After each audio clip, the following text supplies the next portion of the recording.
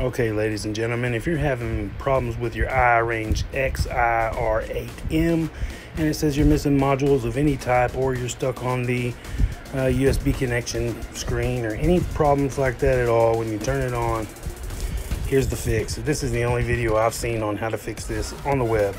Put it in DFU mode by holding exit and then turning it on. You'll have a black screen or a clear screen, but the iRangeX will be on.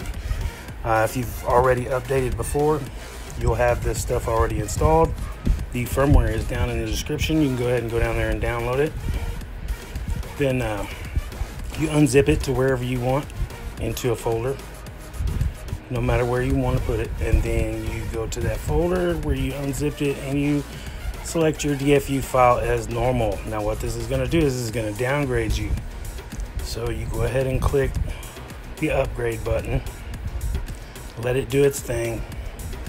This is in fast forward, of course, so it wouldn't be sitting here all day trying to wait for it to happen because it the last part for some reason goes really really really really really slow.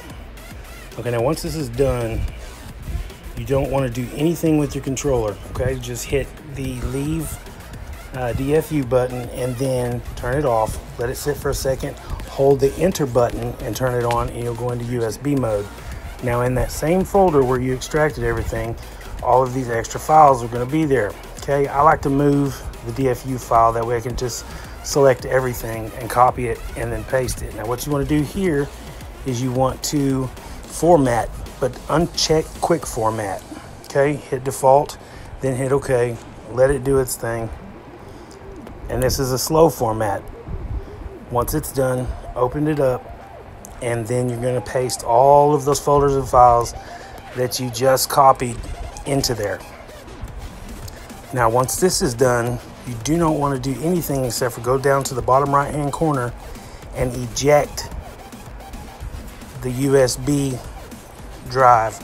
Once it's ejected, you turn it off and you wait a few seconds and then turn it back on and you should be good to go. I had my throttle all the way up here, but you should be good to go. Uh, you can check it again, turn it off, turn it back on, but you always have to wait a few seconds, maybe four, five, six seconds, and then turn it back on.